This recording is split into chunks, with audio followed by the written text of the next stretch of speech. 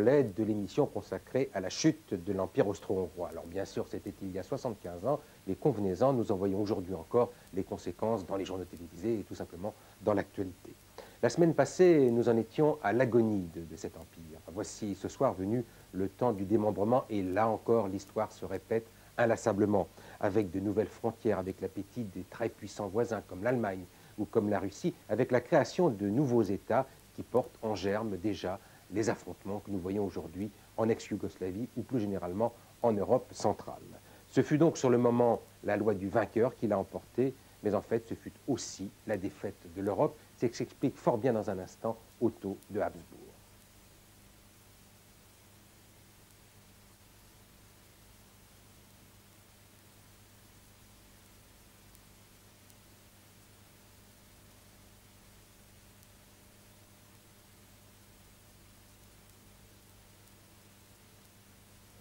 Les vainqueurs dans une guerre doivent nécessairement euh, se contrôler très fort pour ne pas éliminer le vaincu. Et on n'a pas résisté à cette tentation.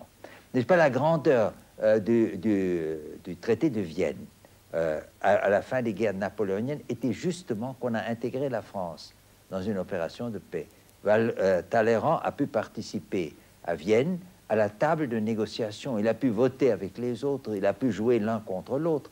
En d'autres termes, il assumait au nom de la France une responsabilité. La euh, dans les deux guerres de notre siècle, on n'a jamais inclus le vaincu. On lui a dicté quelque chose. Et par conséquent, jamais le vaincu ne s'est considéré lié par un document auquel il n'avait pas participé. Et c'est comme ça qu'on n'a pas pu créer une, une paix et qu'effectivement, nous avons maintenant une chance absolument unique de le faire, parce que nous sommes à la fin de la Troisième Guerre mondiale, qui était la guerre froide, et maintenant peut-être nous pourrons réussir, on verra. Le 4 décembre 1918, Woodrow Wilson embarque pour une visite officielle sur le vieux continent. Souverain philosophe de 61 ans, il est le premier président américain qui intervient pour proposer des solutions et aider l'Europe à se sortir d'une guerre.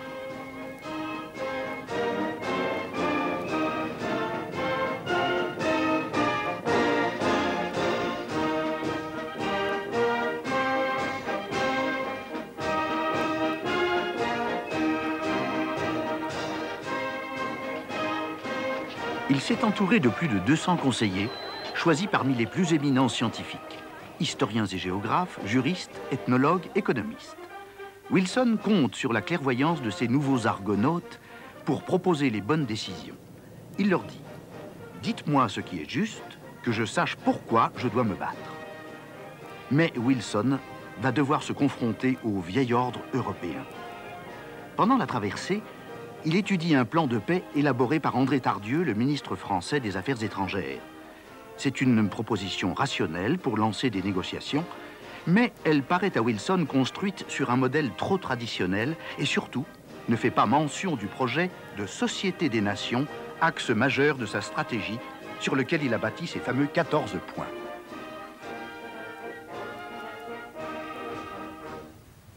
Wilson a rendu public le 8 janvier 1918 devant le Congrès américain et à destination du monde entier, ces 14 points comme les fondations d'une paix durable.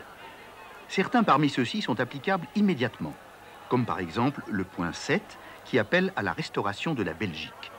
D'autres, comme le point 9, provoqueront d'interminables discussions. C'est la promesse faite à l'Italie de tracer ses frontières après la fin de la guerre en suivant les lignes de partage entre les nationalités. Mais ce sont les clauses d'ordre général, diplomatie, partage des mers, limitation des armements et surtout droit des peuples à disposer d'eux-mêmes, qui risquent, du fait de leur imprécision, de poser le plus de problèmes. Ensemble, ces 14 points forment le credo d'une utopie nouvelle, mais il manque cruellement de réalisme politique.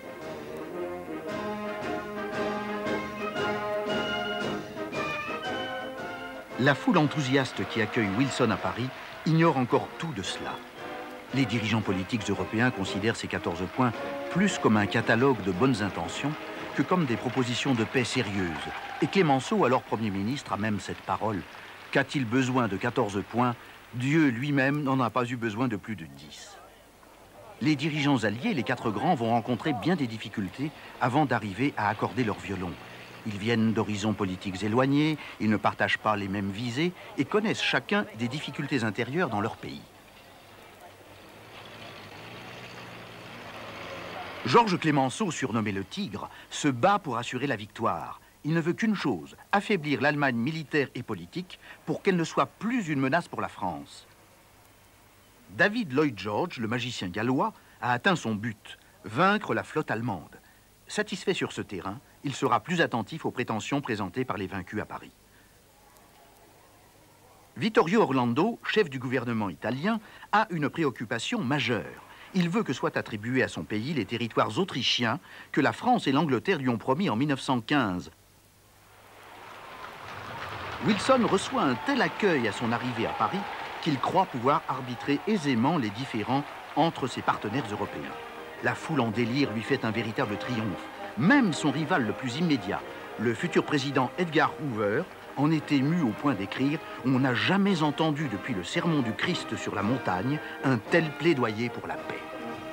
Si président Wilson avait agi aussitôt après son arrivée à Paris, il aurait obtenu pratiquement tout ce qu'il voulait.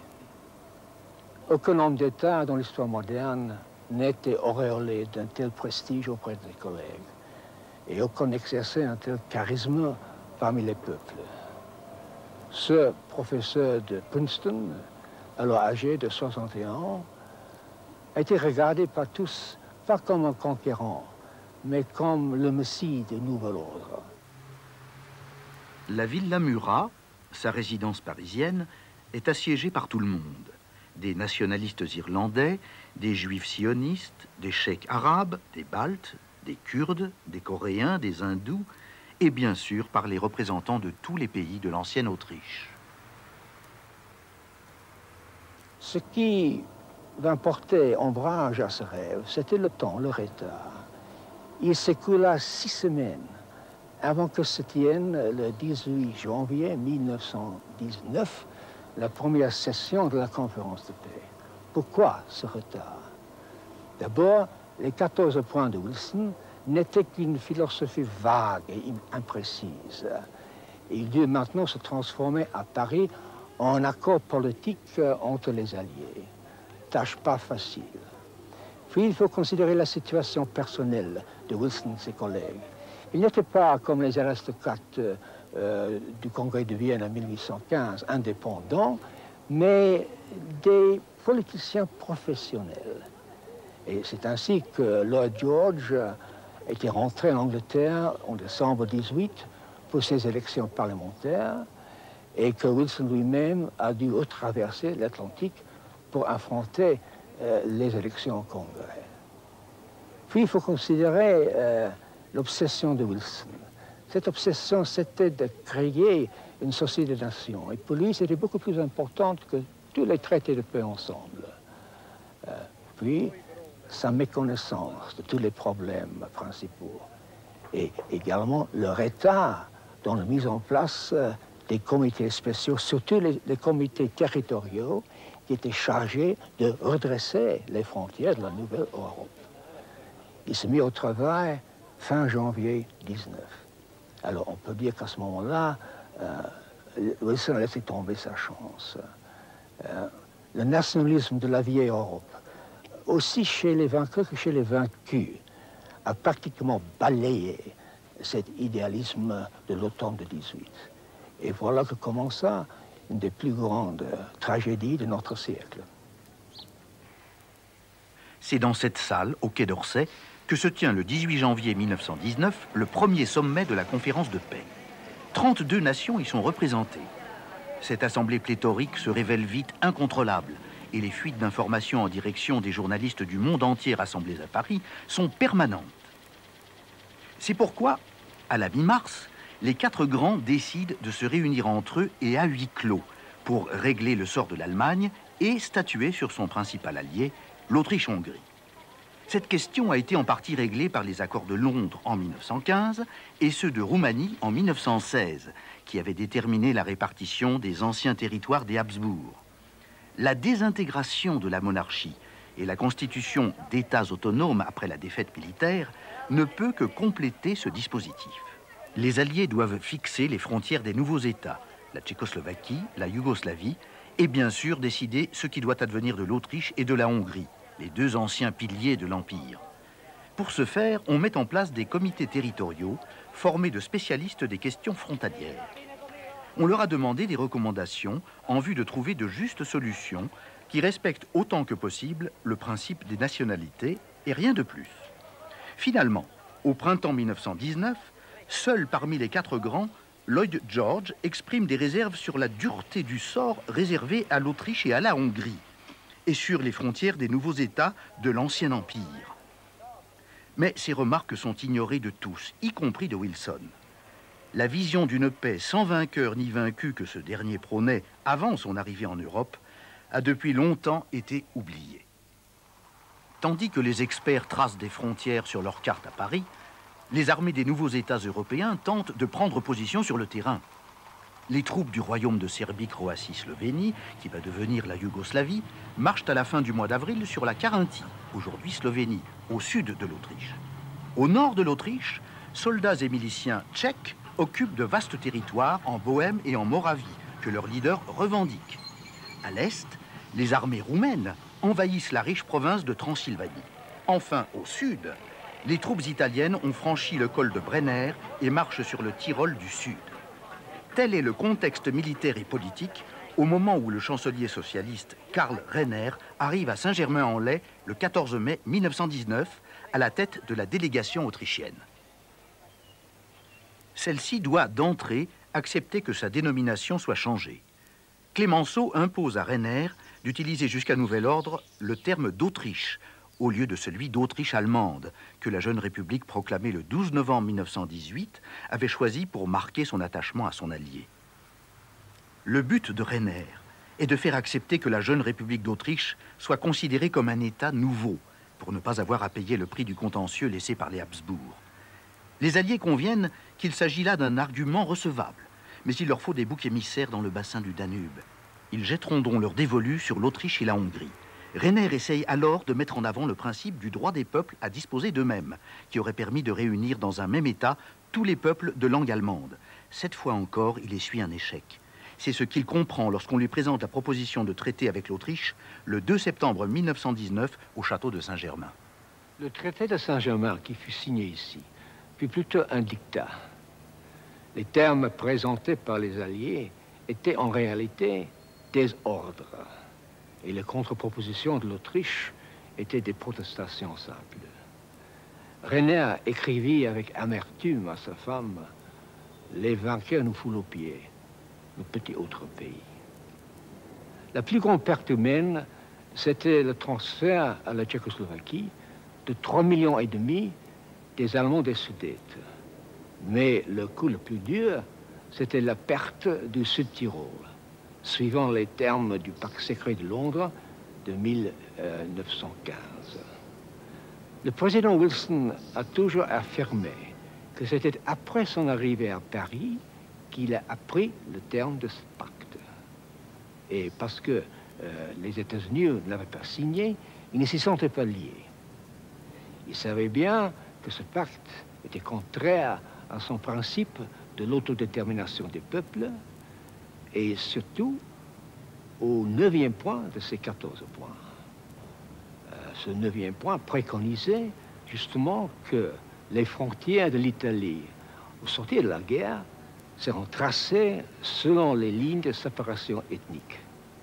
Pour couronner le tout, euh, son propre expert, comité d'experts américain, auquel il est promis euh, l'absolu soutien, lui conseilla le, 21 janvier 19 de rejeter le pacte Londres et de diviser les territoires disputés entre l'Italie et l'Autriche.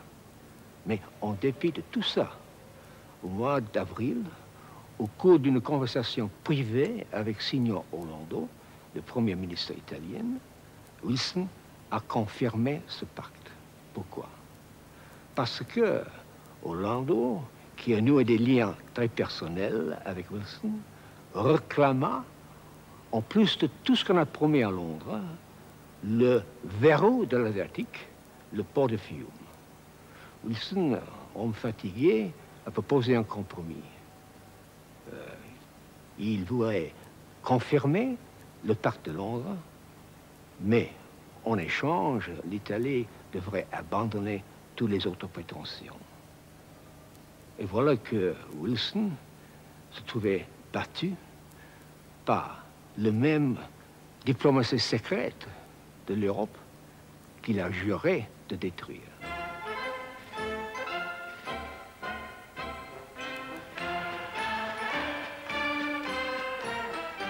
Les voies de communication commerciales et militaires qui traversent les Alpes vers le sud de l'Allemagne passent depuis le temps des Romains par le sud du Tyrol, un endroit stratégique où se trouvent concentrées plus de places fortes que n'importe où en Europe. Botzen et les autres villes de la région se sont enrichis du passage des commerçants et ont vu passer tous les courants culturels de l'Europe. Le vignoble sur ces collines a encore ajouté à la richesse du pays. Depuis le temps des grandes invasions, le Tyrol du Sud est peuplé d'agriculteurs. Depuis lors, la région est majoritairement de langue allemande, le comté du Tyrol faisant partie du Saint-Empire romain germanique. Après la mort du dernier descendant de la famille des comtes du Tyrol, au milieu du XIVe siècle, la région tomba entre les mains des Habsbourg pour presque un demi-millénaire, jusqu'à ce que son destin soit remis en cause par les traités de Saint-Germain. Mille ans d'histoire vont y être ignorés, et les origines nationales de la population totalement méprisé. L'Italie poursuivait deux objectifs.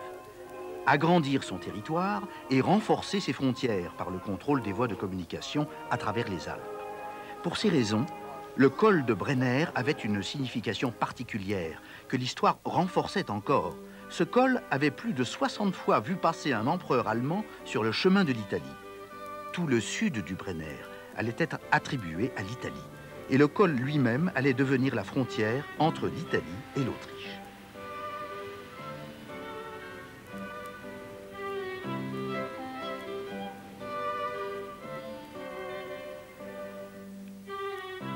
Le 10 septembre, les délégués autrichiens reprennent le chemin du château de Saint-Germain, cette fois pour signer le traité de paix.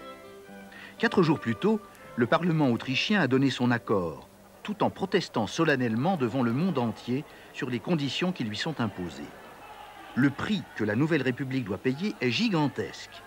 Des 30 millions d'habitants de la partie autrichienne de l'ancienne monarchie, la République n'en réunit plus que 6 millions, sur une superficie ramenée de plus de 400 000 à moins de 100 000 km.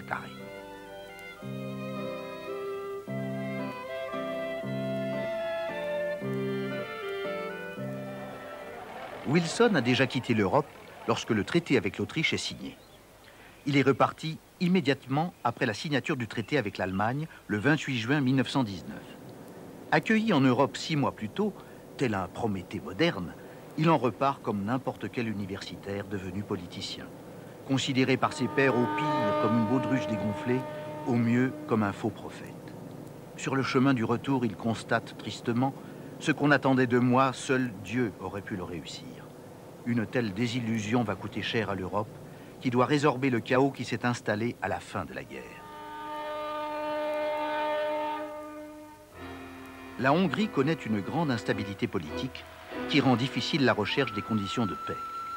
Le comte Michael Karoli, élu président de la République hongroise en septembre 1918, ne reste que quatre mois au pouvoir. Des troubles dus à la famine et au chômage débouchent rapidement sur une révolution menée par Bela un communiste à qui Lénine a confié la mission de bolcheviser le bassin du Danube. Mais le 4 août, ses troupes se dispersent lorsqu'il leur ordonne d'attaquer l'armée roumaine. Il s'enfuit alors avec ses commissaires communistes à Vienne. Le surlendemain, l'armée roumaine occupe Budapest. En juin 1919, un régime contre-révolutionnaire a pris le pouvoir au sud de la Hongrie et a mobilisé une armée de salut national sous le commandement de Nicolas Horthy, un ancien amiral de la flotte impériale. C'est cette armée qui reprend Budapest aux Roumains le 16 novembre. La terreur blanche succède alors à la terreur rouge de Bellacourt. À la suite de menaces des Alliés de couper les vivres, il se forme une coalition de droite qui est immédiatement reconnu et invité à envoyer une délégation à Paris pour recevoir les propositions de paix. le 15 janvier 1920. Cette délégation, conduite par le comte Albert Apony, est reçue au Quai d'Orsay. Apony s'attend à une catastrophe et c'est pire encore. L'ancienne moitié hongroise de l'Empire, qui comptait 20 millions d'habitants, est amputée pour n'en plus avoir que 7,5. Plus de 3 millions de Hongrois se retrouvent sous la bannière d'autres pays. Les terres de la couronne de Saint-Étienne sont mises en pièces. La réponse du comte Apony est brillante. Cette proposition signifie le morcellement de l'ancienne voie de communication du bassin du Danube, que les siècles ont construite. Mais les vainqueurs peuvent-ils impunément inverser le cours des fleuves, renverser la pente des montagnes Peuvent-ils réduire à néant ce qu'un millénaire a construit Apony s'entend rétorquer qu'un État vieux de plus de mille ans ne peut espérer subsister, alors que son passé repose sur une aussi longue oppression des peuples qui ont partagé son histoire. Le 4 juin 1920, le traité est signé au château de Trianon. L'annexion de la Slovaquie à la République tchécoslovaque est le fruit du travail du franc-maçon Édouard Beneš, qui, durant son exil politique, a convaincu les Alliés qu'il n'existait aucune différence ethnique entre Tchèques et Slovaques. Si Apony avait obtenu que soient organisés les plébiscites qu'il revendiquait, les frontières auraient connu un autre dessein, au moins dans ce cas exemplaire, celui de l'île de Chute, la plus grande île fluviale en Europe, entre le cours principal du Danube au nord et l'un de ses bras au sud. Elle côtoie les grandes routes commerciales entre l'Europe de l'Est et l'Europe de l'Ouest. On y pratique la pêche et, en d'autres temps, on y a cherché et trouvé de l'or. Les Hongrois ont occupé cette plaine fertile et ses forêts au Xe siècle, et leur premier roi chrétien, Saint Étienne, y fit bâtir un siècle plus tard les premières églises. Depuis lors, cette île a appartenu sans conteste et sans interruption à la Hongrie. Ici, en plein cœur du bassin de Danube, des centaines de kilomètres nous séparent de ces deux châteaux où furent signés les traités de paix. Mais le cas de cette île de chute était le plus extraordinaire de tous. En 1918, vivaient sur cette vaste plaine féconde 108 000 Hongrois et 1117 Slovaques. Mais malgré ça, le territoire fut attribué entièrement à la nouvelle République tchécoslovaque. L'avenir de cette île de chute fut discuté la première fois au Quai d'Orsay par un comité des experts alliés, un Américain, un Français et un Anglais. Le pourparler français insista que le territoire fût transféré à la Tchécoslovaquie de manière à garantir la sécurité de sa capitale, Bratislava, et les voies de communication. L'Américain, s'appuyant sur la composition de la population, insista qu'il devait rester dans les mains des, Hongrois. L'Anglais, d'un style purement britannique, euh, chercha un compromis. Mais il n'y eut pas de compromis. Parce que finalement, lui et son collègue euh, américain acceptèrent les propositions françaises. Ces propositions, en effet, n'avaient rien à faire avec les voies de communication. Faisait un exemple de plus de la stratégie française était de créer un État slave si grand, si puissant que possible, destiné à servir comme tampon contre l'Allemagne. Voici que les choix politiques ont triomphé et sur la justice et sur la logique, ici comme ailleurs, le long des rives du Danube. Apony obtient finalement que son pays garde le nom de Hongrie alors que les Alliés ont suggéré de l'appeler République de Hongrie. Ainsi, le pays peut en théorie demeurer une monarchie. Cette concession est obtenue par les pressions répétées exercées au sein de sa délégation par l'amiral Horthy, qui saura par la suite en tirer profit en se faisant nommer régent de Hongrie. Le traité de Trianon, qui fut signé dans cette galerie, avec le traité de Saint-Germain, sont comme les deux enfants bâtards du traité de Versailles. Le but cardinal des Alliés, et c'était la France qui avait donné le ton, était de diminuer la puissance allemande et puis le contenir. Alors, la nouvelle République d'Autriche devait être réduite au minimum. Et lui fut défendu de s'unir avec l'Allemagne. La même stratégie mena à la création de deux nouveaux États slaves la Yougoslavie et la Tchécoslovaquie. Il pensait à Paris créer des États tampons contre toute future domination allemande dans la région. Également, ces nouveaux États pourraient servir peut-être comme tête de pont pour établir puissance française dans la région. Euh, cette stratégie a vraiment abouti. Les deux pays, avec euh, la Roumanie, ont créé en 1921 la soi-disant alliance de la Petite Entente. Et la France euh, fut le patron de cette alliance du point de vue militaire, économique, diplomatique. Mais l'émergence des dictatures a mis terme à cette domination française. En fait, tous ces peuples, tous ces pays de la région euh, étaient une grande puissance seulement euh, sous la dynastie Habsbourg. Et après ça, euh, isolés, séparés, ils devaient un proie facile pour n'importe quel voisin agressif et puissant. La tyrannie, comme la nature, a horreur du vide. Et voici que tour à tour, d'abord Hitler et puis Staline s'engouffrèrent dans ce grand vide créé dans le bassin de Danube par les traités de paix.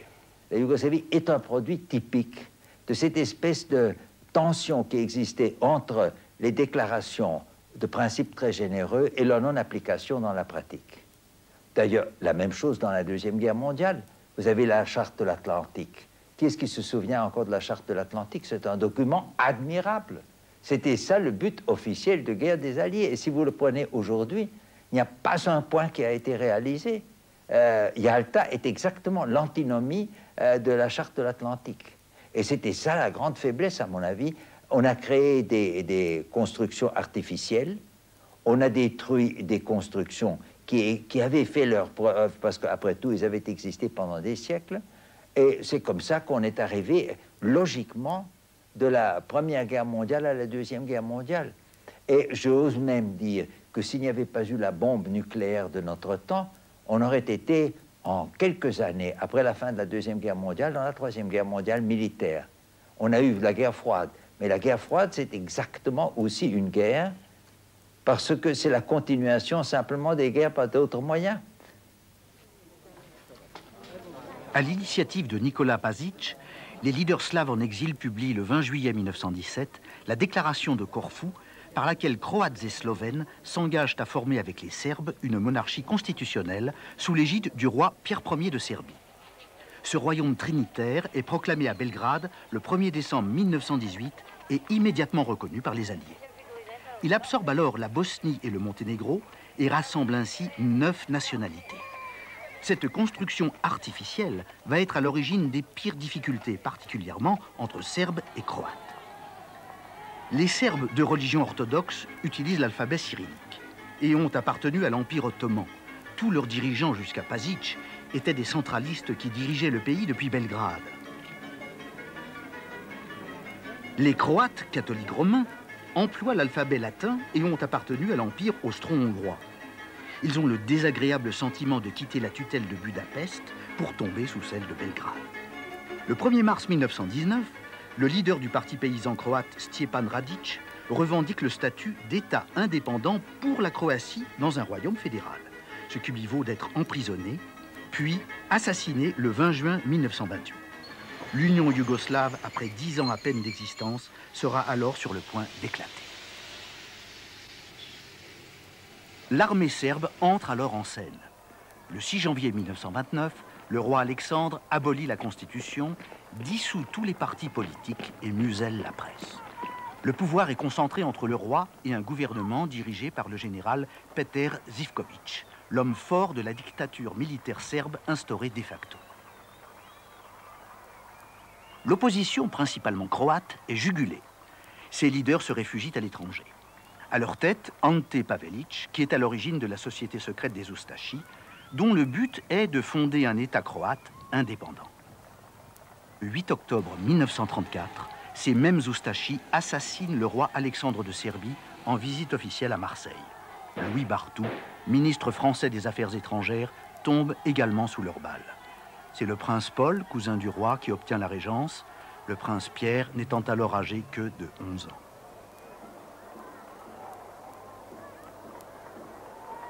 À l'arrivée d'Hitler au pouvoir, L'influence allemande prédomine, d'abord dans le domaine économique. Dès le début de la guerre, Hitler exerce des pressions sur le régent pour qu'il rejoigne les forces de l'Axe, pressions qui aboutissent finalement en mars 1941. Un groupe de généraux serbes s'insurge, organise un coup d'État anti-allemand et destitue le régent. Hitler réagit immédiatement. Le 6 avril, il envoie sans avertissement son aviation bombarder Belgrade. Ses troupes déferlent depuis la Bulgarie, la Hongrie et l'Autriche, et en moins d'une semaine, Belgrade est occupé. Le royaume de Yougoslavie, créé artificiellement par les traités parisiens, est méthodiquement taillé en pièces par Hitler. La Bosnie, intégrée à la Croatie, devient alors un satellite de l'Allemagne, gouverné par Pavelic, de retour d'exil. Ces milices Oustachi commettent alors contre les Serbes des atrocités dont les Croates auront à subir la vengeance dans le sang versé 50 ans plus tard. Ce qu'il reste de l'État serbe subsiste sous tutelle militaire de l'Allemagne. La Yougoslavie créée en 1918 s'est effondrée. Elle renaîtra en 1945 en tant qu'État fédéral communiste, dirigé par le chef de la résistance anti-nazie, le croate Joseph Broz, plus connu sous le nom de Tito. Les dirigeants de la nouvelle Tchécoslovaquie avaient promis lors de la conférence de paix à Paris que les Hongrois et les Allemands des Sudètes, intégrés à la nouvelle République, seraient traités sur un pied d'égalité avec les Tchèques et les Slovaques. En fait, ils seront considérés comme des minorités et non comme des partenaires à part entière. C'est la porte ouverte aux conflits qui ne tarderont pas à se développer. Des tensions naissent également entre Tchèques et Slovaques. Ces derniers n'obtiennent pas la parfaite égalité qu'ils revendiquent, même si leur niveau de vie dans le nouvel État progresse considérablement. Ils n'apprécient guère l'envoi en masse de fonctionnaires tchèques à Bratislava. À l'initiative de Monseigneur Linka, le Parti du peuple slovaque se forme pour revendiquer un gouvernement slovaque autonome. Tous les éléments pour un séparatisme dur sont maintenant en place, renforcés par la question de la langue que Masaryk puis Beneš ont toujours passé sous silence. Ces deux peuples ne formeront jamais une nation unie. La clé de la stabilité politique est entre les mains des 3,5 millions d'Allemands des Sudètes. Le président Masaryk a prédit dès 1919 que la République n'aurait aucune chance de survie si elle ne parvenait pas à intégrer ces Allemands. Le Parti des Allemands des Sudètes, dirigé par Konrad Heinlein, un ancien professeur de gymnastique, n'est guère qu'une mouche du coche jusqu'à l'avènement d'Hitler au pouvoir en 1933. Mais il devient alors une menace réelle. Hitler méprise les Tchèques et ne voit dans l'existence de la Tchécoslovaquie que le symbole persistant du diktat de Versailles. Il va s'appuyer sur Heinlein et son parti pour entreprendre de détruire la Tchécoslovaquie. Beneš doit alors lâcher du lest pour éviter le conflit direct sous la pression du Premier ministre britannique Chamberlain et de son homologue français Daladier. Mais Hitler, qui a déjà planifié l'invasion de la Tchécoslovaquie, ne va pas se contenter de demi-mesures. Chamberlain fait deux voyages rapprochés en Allemagne pour rencontrer le Führer, et ce dernier lui annonce alors ses visées sur les Sudètes et son intention d'appuyer les revendications de la Pologne et de la Hongrie sur les territoires tchécoslovaques. Rien moins en fait que le démembrement de ce pays et la perspective d'une guerre à laquelle les puissances occidentales ne sont pas prêtes.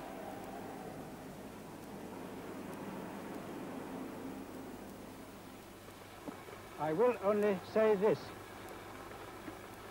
I trust that all concerned will continue their efforts to solve the Czechoslovak problem peacefully because on that turns the peace of Europe in our time. La conférence de Munich le 29 septembre 1938 parachève le dispositif. C'est la reconnaissance du principe de l'annexion des Sudètes à l'Allemagne, mais parallèlement, une garantie de protection donnée au reste de la Tchécoslovaquie par les quatre signataires, Hitler, Chamberlain, Daladier et Mussolini. Le 1er octobre, les troupes allemandes envahissent les Sudètes et Hitler y fait deux jours plus tard une entrée triomphale. Beneš démissionne presque aussitôt et s'exile aux États-Unis. Le 15 mars 1939, Émile Aha, qui est le nouveau président de la République tchèque, est convoqué à Berlin. On le menace de bombarder son pays et Hitler et Göring exigent de lui qu'il remette le sort du peuple tchèque entre les mains de l'Allemagne. Aha s'évanouit avant même de pouvoir signer la capitulation. Le soir même, Hitler entre à Prague. La Bohème-Moravie est intégrée au Reich en tant que protectorat allemand. La Slovaquie obtient une indépendance formelle sous la conduite du père Joseph Tiso, qui a succédé à Inklas à la tête de l'église de Slovaquie.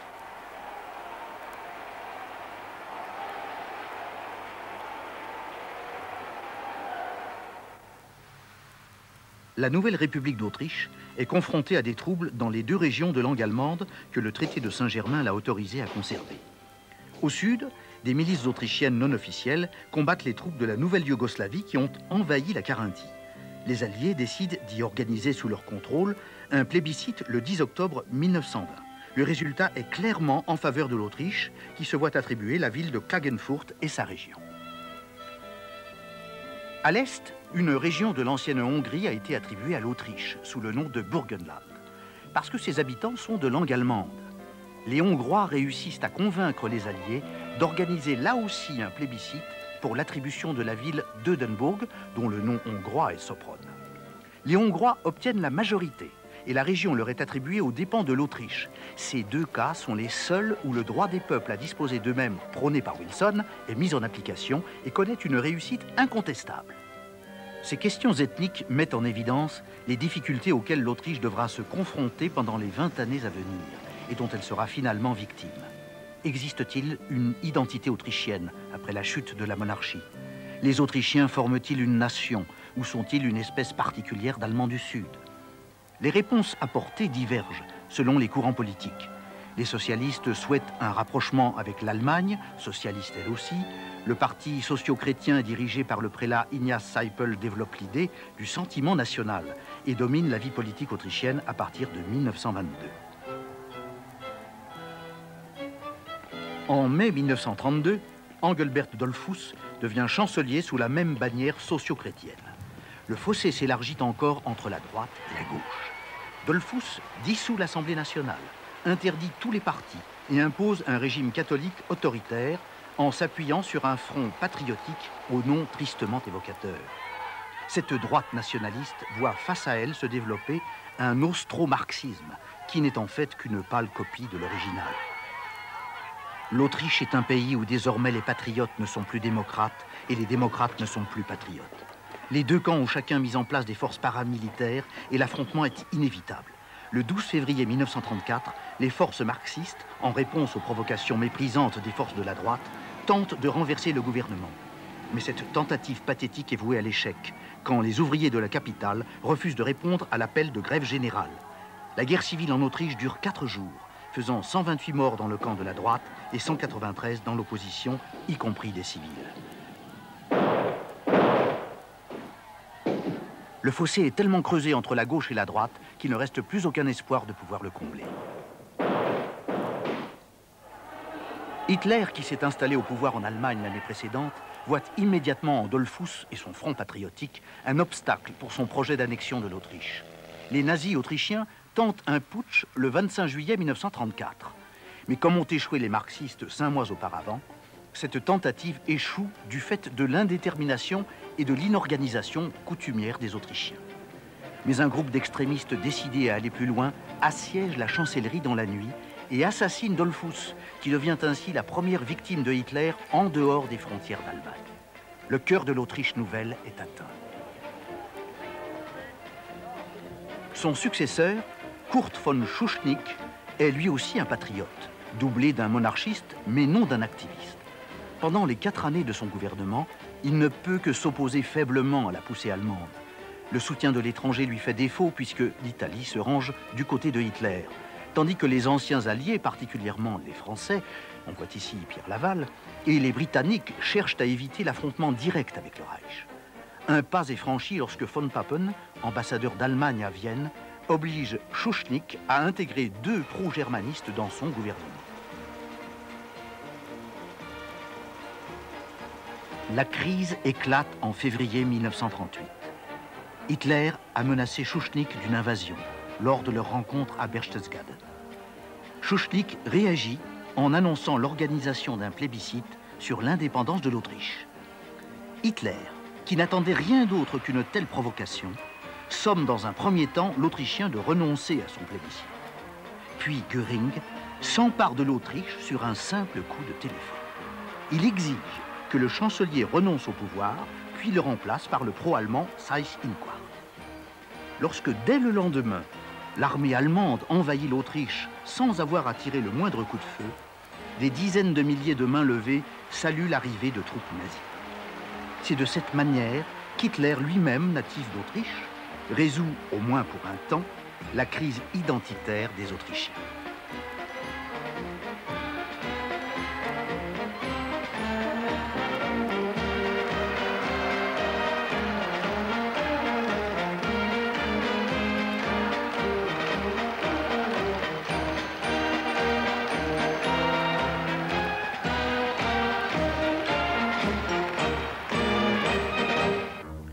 La Hongrie est une monarchie sans monarque, sous la régence fastueuse d'un amiral sans flotte, Horthy.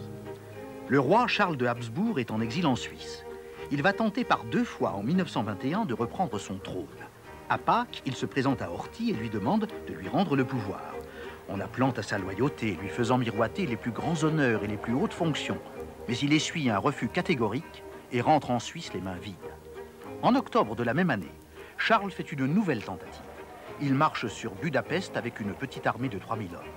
Mais à la première confrontation armée, à Buda-Horst, près de Budapest, l'entreprise tourne au fiasco. Le commandant de l'armée royaliste trahit son roi et une troupe de soldats et d'étudiants à la solde de Horthy l'empêche fermement de poursuivre la tentative. Mais la raison principale de cet échec réside dans la peur maladive du roi face à l'affrontement physique et la perspective du sang versé. Le couple royal est alors fait prisonnier. Son sort est remis entre les mains des Alliés, qui le font embarquer sur un navire britannique à destination de Madère, où Charles mourra l'année suivante. Horthy va poursuivre, sans trouble notable, sa régence pendant une vingtaine d'années. La Hongrie vit alors une période de stabilité, gouvernée par de nobles propriétaires fonciers qui ne souhaitent rien d'autre que pouvoir profiter tranquillement de leurs immenses propriétés. Horthy, qui s'y est engagé, tient sa promesse. La signature en 1934 du protocole de Rome est le seul fait marquant de politique étrangère durant cette période.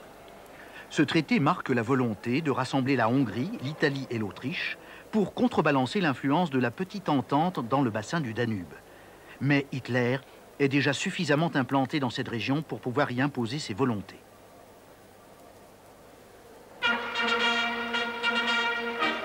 C'est à ce moment que se constitue un parti nazi en Hongrie dirigé par Ferenc Chalazi.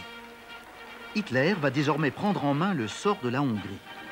Dès le début de la guerre, Horthy s'est rallié à lui, en échange de quoi il récupère en 1940 une grande partie des territoires de Transylvanie qui avaient été attribués à la Roumanie.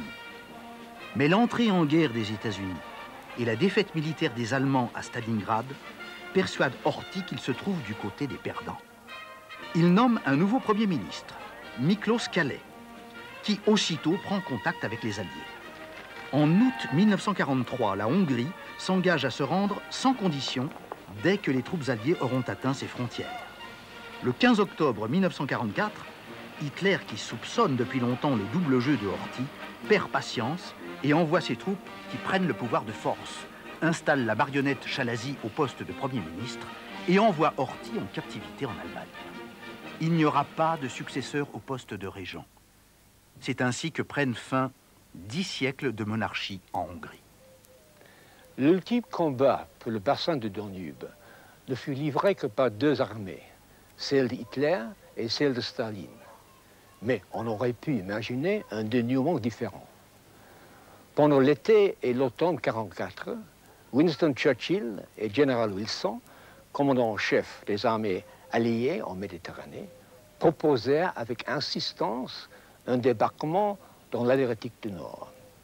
Le plan, élaboré par Wilson le 17 juin, envisageait la prise de Trieste par une force de cinq divisions et puis l'envahissement de la plaine hongroise par la brèche ouverte de Ljubljana.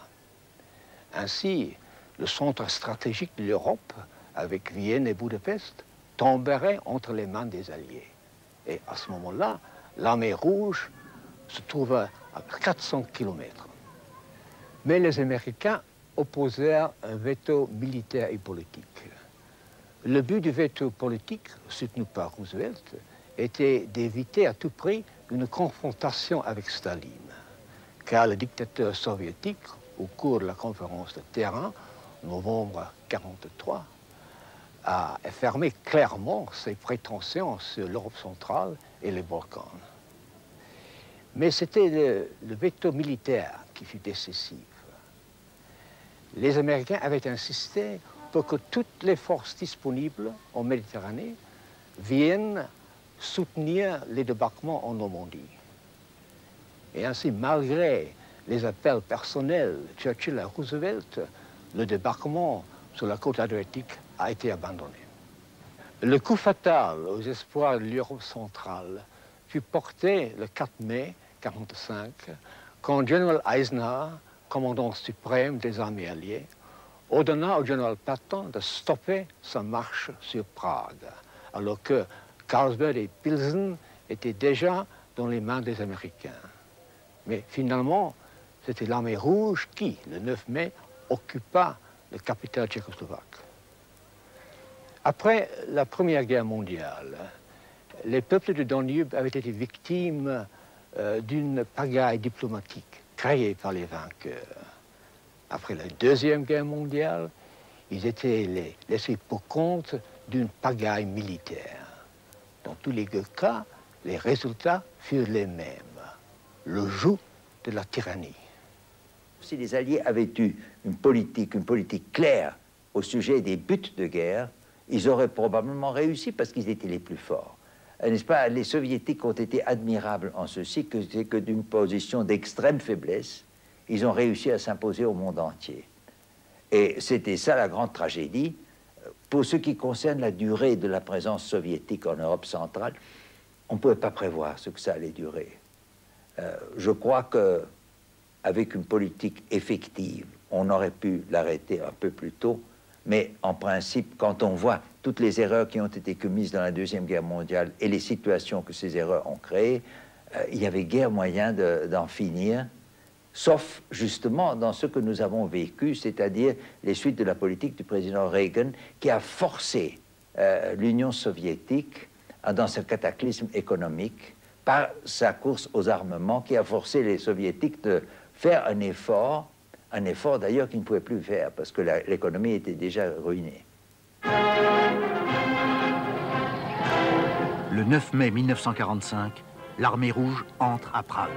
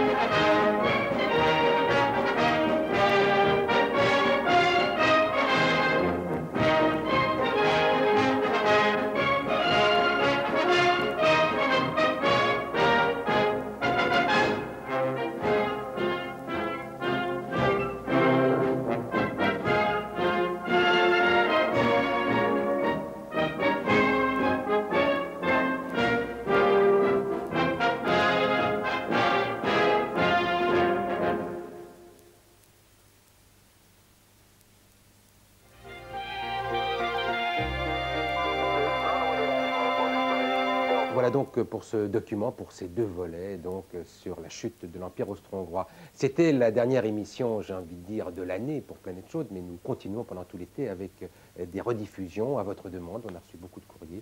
Et on commence la semaine prochaine avec euh, une profession qui est dans l'actualité, hélas, c'est la profession de mercenaire. À mardi prochain, merci pour votre fidélité. L'essentiel de l'actualité, présenté par Christine O'Krent. Tout de suite, le soir 3.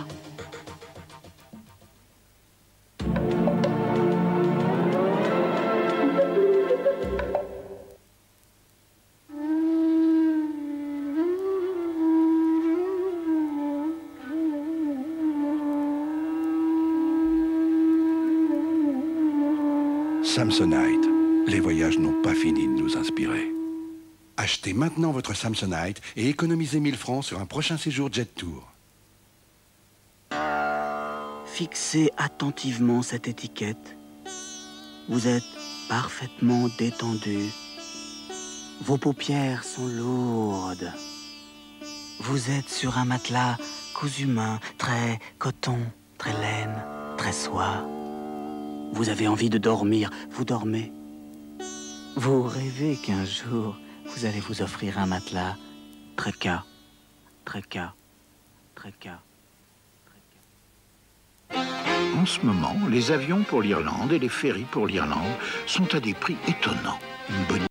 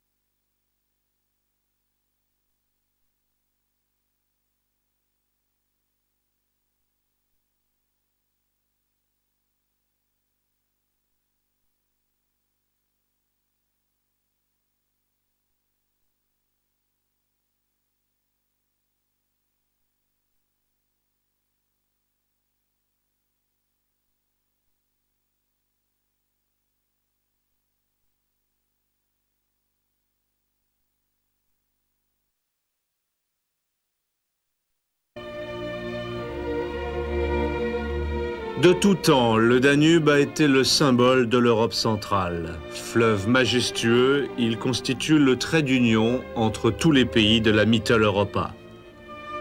Tour à tour, il se ferait un passage entre les collines de Haute et de Basse-Autriche.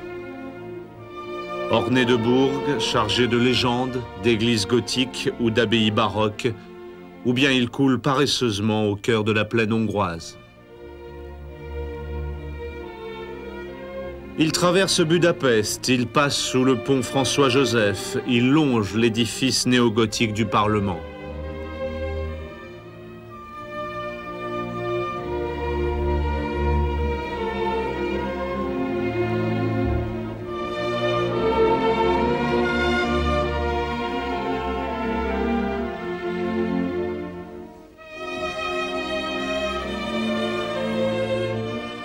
Il effleure aussi Vienne, l'un des grands foyers de la culture européenne en ce début de XXe siècle.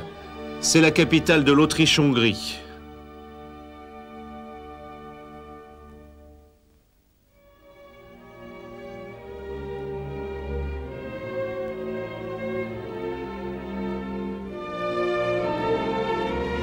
Le royaume de Bohême en fait également partie avec Prague, sa capitale historique traversée par la Moldao avec son architecture typique où le gothique côtoie le baroque.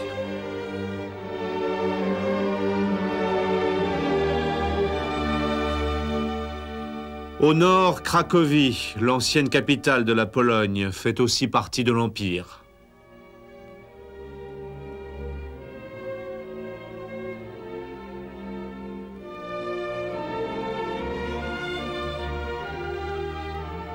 François-Joseph, l'un des derniers monarques de droit divin, règne sur cet empire de plus de 50 millions d'habitants, aux langues et aux cultures différentes.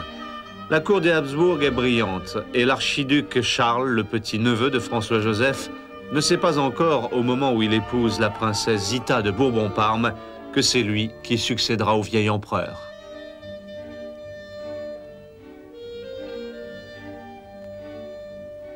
À Berlin règne Guillaume II, le principal allié de François-Joseph. L'Allemagne est devenue une grande puissance industrielle moderne, mais la tradition militaire des Hohenzollern, héritée de Frédéric le Grand, est toujours là, bien vivante. À l'est, la dynastie des Romanov règne depuis trois siècles sur l'immense empire russe. Au début de ce siècle, c'est Nicolas II qui est le tsar autocrate de toutes les Russies. Il compte bien sur l'armée et sur l'Église orthodoxe pour maintenir la cohésion de son pouvoir. Et pourtant, en quelques années, il ne va plus rien rester de ces trois empires.